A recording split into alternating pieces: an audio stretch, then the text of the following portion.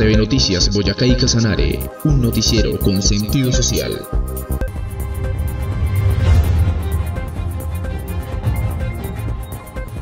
La Gobernación de Casanare y la Alcaldía de Trinidad, con el apoyo de la Unidad Nacional para la Gestión del Riesgo de Desastres, entregaron a la comunidad triniteña la primera fase de un malecón que embellece y sirve como protección para más de 15.000 personas que habitan este territorio. Hoy podemos decir que esta primera fase, que son de aproximadamente 757 metros de longitud, eh, se ha culminado con una inversión de 3.000 856 millones de pesos. Igualmente, el alto funcionario anunció el apoyo económico del gobierno nacional para la construcción de la etapa final de esta obra. Pero viendo la gestión, el compromiso que tiene la administración municipal y la gobernación, se nota que falta un, segundo tramo. Eh, hoy, bajo ese escenario, pude anunciar que la unidad va a financiar el 50% de la segunda parte es decir, unos 2.300, 2.400 millones de pesos adicionales. De esta manera, el municipio de Trinidad no solo contará con un mecanismo de alta protección para sus habitantes, sino también dará la posibilidad de explotar su economía por medio del turismo. Eh, aparte de ser una obra protectora, se convierte también en, un potencial turístico para esta región. Es lo que estamos buscando nosotros en este momento, desarrollar el turismo a través de estas obras de protección.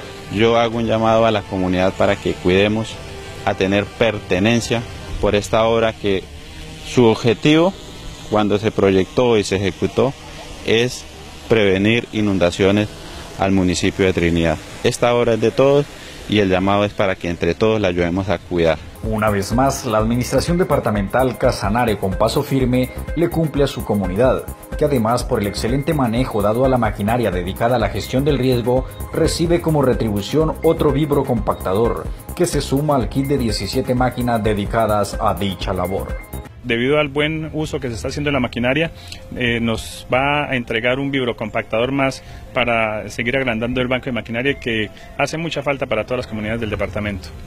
Por cosas como estas, la gestión del riesgo se ha constituido en nuestro departamento como uno de los reglones más importantes. Se puede dar un balance muy positivo a esta visita, donde las horas de litigación están funcionando, donde los trabajos para la prevención se están realizando, donde la gestión de riesgo como departamento es ejemplar a nivel nacional y sobre esa base quiero decir que eh, nuestro punto de cierre ha sido un cierre altamente positivo.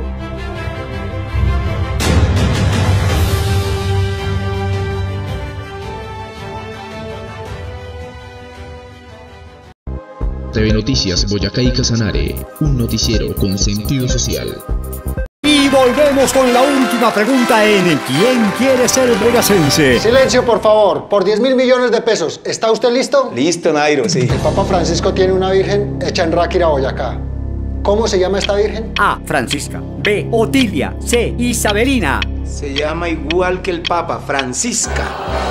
Perdió, pero no se preocupe porque usted todavía puede ser millonario. La Lotería Boyacá entrega todos los sábados 10 mil millones de pesos, el premio mayor más grande de Colombia.